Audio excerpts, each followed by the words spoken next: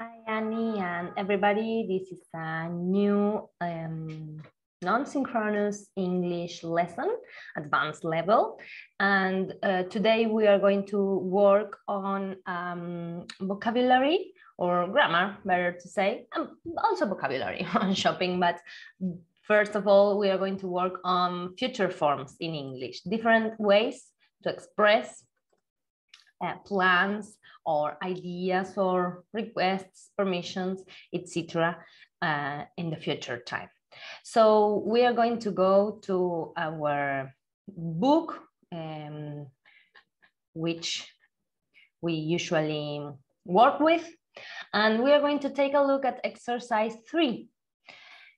Here we've got um, some of the some the different forms, different ways to ways to express um, things, plans uh, in the future. Last class, we had been working on, for example, future will, we have been working on present continuous, going to form, um, uh, future perfect, a future continuous. We have been working with different tenses. And today we are going to apply them to, to, to bring them, them back to our memories and um, and to to take a look uh, whether one of another of the options is possible. Um, this will be the exercise we are going to do. Ani, in your case, you can go to page 93 and take a, a look at it, as well as uh, have in, in at, at hand um, the this one. I'm going to change what I'm sharing. This page from the grammar summary 176, uh, where we have these different future forms. Here, there's a summary. You can pause the video here and take a look at the different forms if you're not Annabelle, and you can do the exercise with us. Um, we have different forms and page, next page, sorry where we have the future forms um, continuous and perfect, okay? So we're going to do this exercise. Meanwhile, we decide which of these different uses we are we are um, applying in each case, okay? So I'm going to read the task. Look at the following sentences and choose the most appropriate future form. Number one, it says, I'll apply or I'm going to apply. These are the two possible options for a job at the local hospital. I've been thinking about it for ages. So we have to decide which is the better form. Okay, we can say, for example, and now you can go back to the language summary I was recently sharing and take a look and check at item number three, where it says we use going to and the present continuous to talk about things that have already been decided. So in this case, this would be one of these options. So I'm going to apply would be the best of these two options. So we have item number three from the grammar summary. Number two, I'm sure he will leave, option one, or he will have left the company soon. Again, we take a look at the grammar summary and this would be the best option we are working on item number one, which says um, we use going to or, shall, or will, will is this case, plus infinitive for predicting something when there is no present evidence. Number three, if he isn't careful, that little boy, option one, is going to fall, or option two, is falling and hurt himself. and hurt himself. Okay. In this case, we have this option as the better one. Since item number four is use going to to talk about things that are certain to happen. Why do we know this? We know this because there is present evidence. I'm seeing that boy. So number, uh, what did I say? Number four, right? Yeah, number four would be the, um, the item that represents this case. Number four, this time next week, we are going to lie, option one, or we'll be lying, we will be lying in the Australian sun. In this case, what are we, we using? We may think, for example, option two, because it says um, we use shall or will for promises, threats, offers, and requests. Maybe we can think this about uh, uh as a, as a um, promise, for example. But the um, best option would be number six, where we have that the information that we use the future continuous, will or shall, plus be plus ing, to say that an action will be in progress at a definite time in the future. So I will be, by then, lying that action will be in progress when next week in this definite time. So we are going to lie will be the choice. I was thinking number five, I was, I was talking to Paul and apparently the whole family is going to his house for Christmas or will go to his house for Christmas. This one might seem tricky because we have this apparently word that it's kind of um, uh, like it depends a little bit on this word, the answer. What about here? We have, for example, let me see my, my notes. Um, on item number three, we have got this information. It says, we use going to, uh, yes, the whole family is going to, we can also use the present continuous, but, but in this case is going to, to talk about things that have already been decided. So we can think that the fact that his family is spending Christmas uh, with Paul has already been decided, but they say apparently, right? So maybe this is not so uh, determined, determined, uh, like, um, I don't know, maybe they will spend, they will spend Christmas with him, but maybe they won't. So in this case, I, I've read number three, item number three. Item number five says, we use will or shall plus an infinitive form to talk about future actions decided at the time of speaking. Of speaking. And then it says, I was talking to Paul, and apparently, so this is not absolutely, absolutely decided, maybe. Um, we can also use will go. So in this case, it depends, I think, in my personal opinion, you may disagree, of course, I'm not the owner of the truth. So please argue with me, discuss with me, and let's decide together which is the best option. In my opinion, it depends on that circumstance. The thing is that, okay, if we say it's going to his house, what we are saying is that this has been already decided and they are going to definitely go for Christmas. This would be option number three.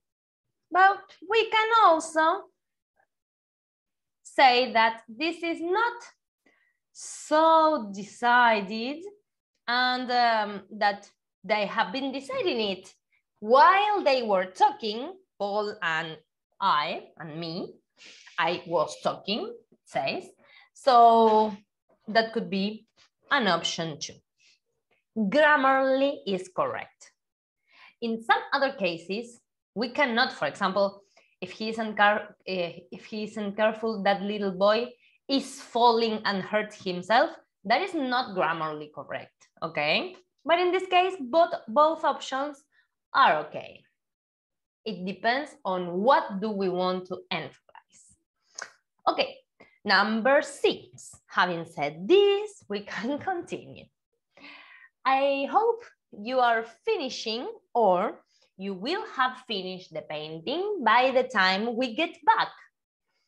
In this case, what we have to, to take in account is that, okay, we have option A, uh, are finishing, present continuous. Option B, will have finished. So this is a perfect, future perfect, a perfect form. When do we use future perfect? When we want to describe something, it says item number seven, that will be completed before a definite time in the future. So this would be the case. We hope that will be completed before we come back. Um, so this will be the option and this would be number seven, the example of the future form number seven. Okay, um, number seven in this uh, exercise, in our exercise, uh, I tell you what. Um, ah, sorry, I forgot. I was going to, to say, why not this one? Because hope you are finishing. Present uh, continuous would be, we can, we can see present continuous use in the uh, X um, item three, for example we use going to and the present continuous to talk about things that have already been decided. Okay, yes, I've, I've decided I want you to finish that by the time I got back, go get back. But it's not my decision. It's not my choice, actually. I depend on that you have or haven't finished it. Another use of the present continuous would be um, okay it only says that because in the in the all all the the other items says um do not use present continuous in certain cases um and then item number six which is future continue we need a will or a shall. And in this case we don't have uh, any will or shall. So this are finishing is not a choice. Okay? Number seven, and we finish this exercise with this, with it. Um, I tell you what, if you're getting him some CDs for his birthday, option A, A, I'll get him a tie, or I'm going to get him a tie. Which is the difference? Remember that going to is used, both are grammarly correct, but going to is used to express something that has already been decided. And apparently, because of the context, we can think that this is an recently made choice, an instant decision, a decision that is made in the moment that this person is talking, talking because it says, I tell you what. So even though both options might be okay, what we have to choose is I'll get because it's an instant decision. And the item that, sorry, and the item that represents this choice is number five, which says, we use will or shall plus an infinitive to talk about future actions decided at the time of speaking. So this would be the um, options that you should choose in each of these cases. How was it? Do you have a different option? Do you want we to discuss about it, that would be really interesting. Okay, very good. With this, we finish for, by now, a little bit with these future forms we have been working with Ani last class uh, and today's. And we are going to skip to another topic, as I let you know in advance, vocabulary. We are going to work on vocabulary on shopping, okay? And I propose you to take a look at these sentences. And what we have to do is to match each of these ones with a shop, to a shop, sorry, below, in which you might hear it being said. Where can you hear these phrases? In which of these shops can you hear these phrases? I recommend you to stop the video now to try to choose um, or to match them and uh, then we will work it together. So here I go with the answer. Number one, it says, I only bought this last week and already the heel has come off. This, you may hear it in a shoe shop. A heel is that part for, of a shoe, in general, ladies' shoe. We've already used, I'm going to cross it out, shoe shop. Number two, could you have, could I have, sorry, could I have a dozen red roses, please? I'm making the letters bigger because it's kind of small. It was kind of small. Number two, could I have, could I have a dozen red roses, please? This would be uh, a florist. So letter A. Number three, do you have anything to help with a sore, sore throat and a runny nose? This, you might hear it in a chemist. This is the English form of farmacia. Also, chemical, chemistry is related to químico, química, not as in Spanish, but since in a farmacia, the, the pills, the medicine works with chemistry, um, in English, we call that chemists as well. So this would be D, number three, D. Number four, a large brown loaf and a couple of jam donuts, please. Okay, a loaf is the same, it's, a, it's a synonym for bread. The difference is that uh, a loaf is, is a one piece, big, one big piece of bread that you cut in slices and maybe bread might be smaller pieces. Uh, we have white loaf and brown loaf. Brown loaf is the one that we call in Spanish integral, yeah?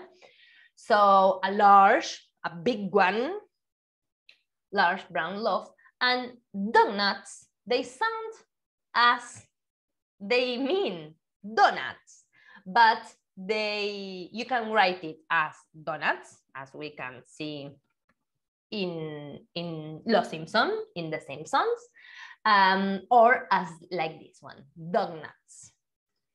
Uh, and jam donuts seems like the um, bolas de fraile, our bolas de fraile in, in, but you can hear this at a baker's. En una panadería, baker, panadero, bakers, panadería.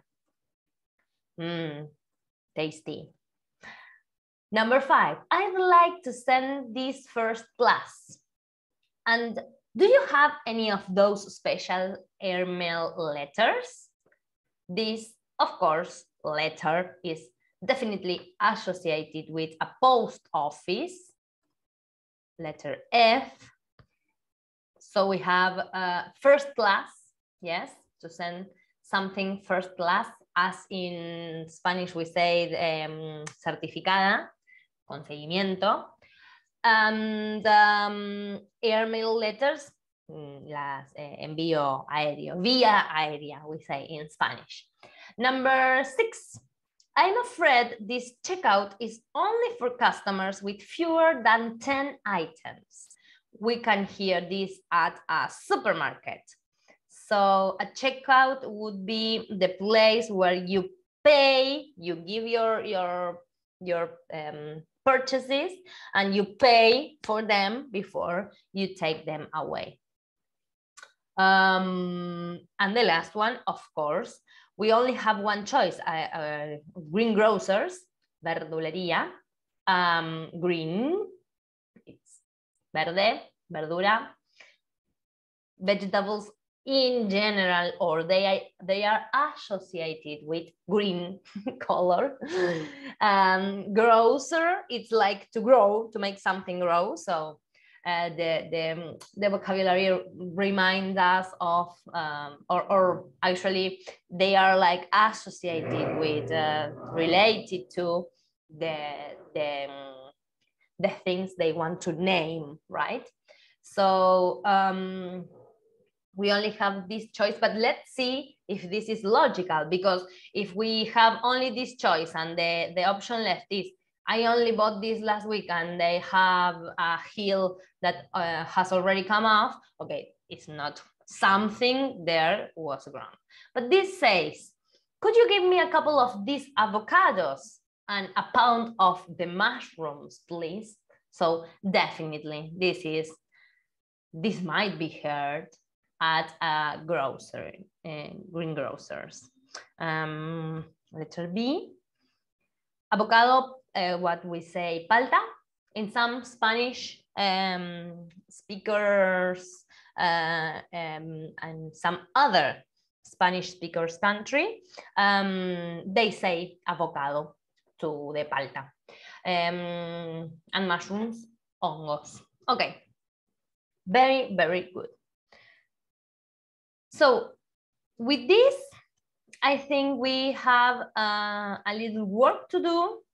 I'm going to stop the video over here so it's not neither boring, neither too heavy to upload it, it in, the, in the YouTube channel. And um, if you have any doubt, uh, Ani, please contact me by WhatsApp or email. And if you're not Ani and you're watching this video and it's interesting for you, you can also share your thoughts and comments on below. And I will be glad to read you. Okay, um, so Ani, see you next week. I hope you enjoy. And the rest of you, see you next video. Bye-bye. See you. Hugs.